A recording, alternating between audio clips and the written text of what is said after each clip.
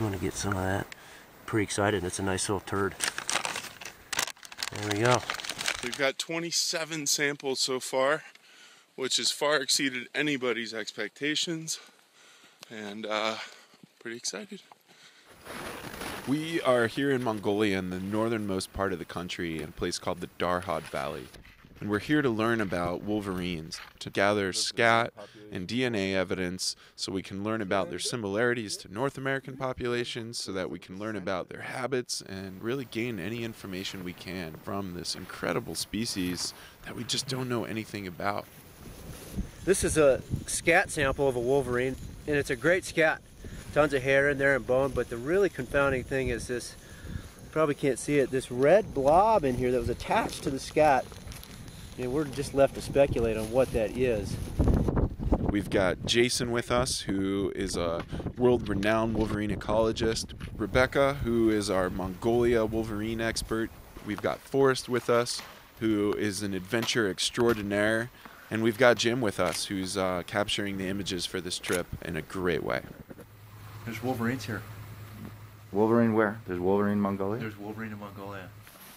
You know, I think I think the hard part is that, that it's a climate that we haven't been into before. I think it's gonna be cold. I think it could be real cold even.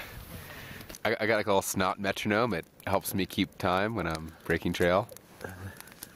So he's just come over. Pretty windy pass. Pretty damn cold. I'd guess with the wind chill, it was about negative. Oh, I don't know, maybe about zero. Uh, got a couple miles before we get out of this wind and cold. Uh, the group's ahead of me. I can barely see them through the white. Can't really tell where the sky and the ground meet. Yeah, pretty wild. We weren't, what, a mile up the valley when this train of horses appears. And it's the very first animals from this migration of people moving into Darhad Valley for the summertime.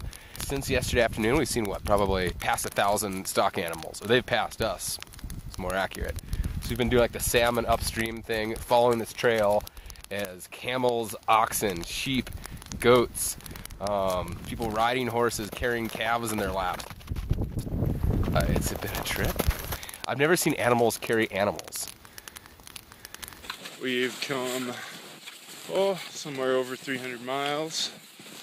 Collected uh, 29 Wolverine samples. Seen 25 or so tracks. We've done what everybody is feeling like was an amazing job of documenting the natural history of this range.